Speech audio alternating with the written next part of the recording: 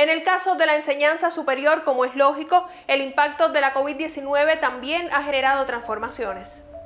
Según el informe del Instituto Internacional de la Organización de las Naciones Unidas para la Educación, la Ciencia y la Cultura UNESCO sobre los efectos inmediatos de la pandemia en estudiantes universitarios, el mayor impacto fue el cierre temporal de las instituciones junto al cese de las actividades presenciales.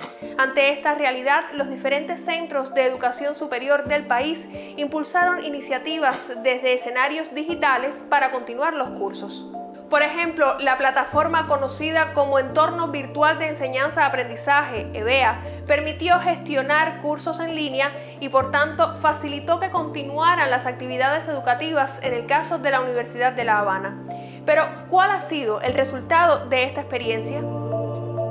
Para Melissa Quintana, estudiante de cuarto año de la licenciatura en turismo, el principal aporte de EBEA fue la posibilidad de continuar sus estudios universitarios que estuvieron en pausa durante los primeros momentos de la COVID-19.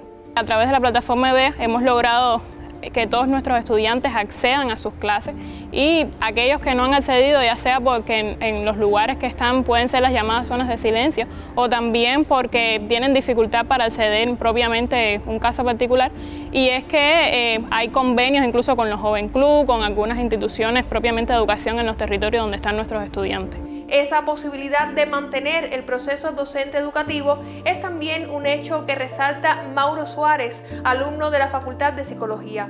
Para él, como ocurre con muchos otros estudiantes y profesores, el uso de EBEA ha sido también un acto de aprendizaje y análisis de experiencias. Primeramente, al ser una herramienta novedosa tanto para el estudiantado como para los profesores, pues lógicamente tiene algunas dificultades el propio entendimiento de cómo funciona la plataforma, más allá de algunas limitaciones que pueda tener a nivel tecnológico por eh, las condiciones, la infraestructura que, conocemos que, que limita bastante a veces la plataforma. Creo que una de las cosas que más ha golpeado a los estudiantes ha sido la bibliografía desactualizada que hemos encontrado en EBEA, que ha sido la misma que se ha usado en años anteriores. Las presentaciones, que también han sido las mismas que se han usado anteriormente y han sido incorporadas al EBEA. No ha habido una actualización de la información y de las presentaciones de las propias conferencias que ponen nuestros profesores. Otra dificultad que afronta muchas veces la plataforma EBEA es la sobrecarga a la hora de subir los contenidos o de descargarlos. Esto muchas veces sucede porque es demasiada información, tanto en la hora de montaje como en la hora de descarga de los estudiantes, que pone la plataforma más lenta de lo que normalmente debería funcionar. Creo que también lo que conocemos como el foro en EBEA, ha habido una comunicación, pero ha sido más bien esquemática, más bien reproductiva y los estudiantes y nos están pidiendo también un poco que establecer un contacto que sea un poco a la crítica de los estudiantes sobre lo que realmente estuvieron aprendiendo en las clases que, que se nos dan a través de las conferencias.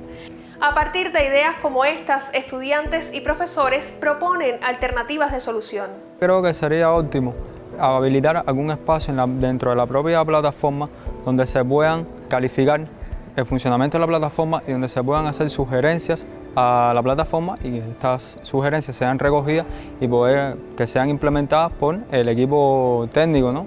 que pues, habilita y se encarga del buen funcionamiento de la plataforma.